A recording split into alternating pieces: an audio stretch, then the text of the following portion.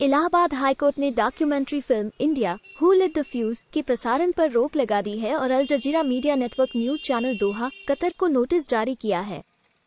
Court ने भारत सरकार व राज्य सरकार को आदेश का पालन कराते हुए सामाजिक सौहार्द कायम रखने व राज्य हितों की सुरक्षा के कदम उठाने का निर्देश दिया है। कोर्ट ने सभी विपक्षियों से याचिका पर जवाब मांगा है।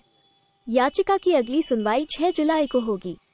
यह आदेश न्यायमूर्ति अश्वनी कुमार मिश्र तथा न्यायमूर्ति आशुतोष श्रीवास्तव की खंडपीठ ने सुधीर कुमार की जनहित याचिका पर दिया है।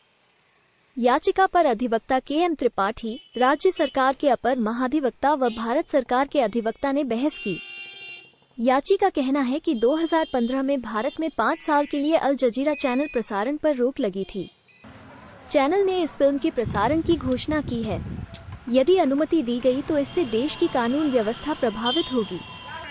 धार्मिक उन्माद व घृणा फैलेगी और देश के पंथ निरपेक्षता का ताना बाना नष्ट होगा। लोक शांति भंग होगी। इस फ़िल्म में मुस्लिम समाज का पोलराइजेशन होगा। फ़िल्म सच से काफ़ी दूर है और मंगणन कथानक पर आधारित है।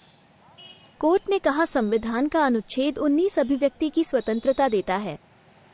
यह मौलिक अधिकार है, किंतु यह अनियंत्रित नहीं है। तर्क संगत प्रतिबंध लगाया जा सकता है। सरकार को अनुच्छेद 19 दो के अंतर्गत देश व समाज हित में अभिव्यक्ति की स्वतंत्रता को नियंत्रित करने का अधिकार है।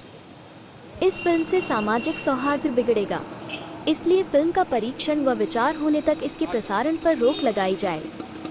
कोर्ट ने केंद्र व राज्य सरकार को आदेश का पालन कर सुरक्षा कदम उठाने का निर्देश दिया है।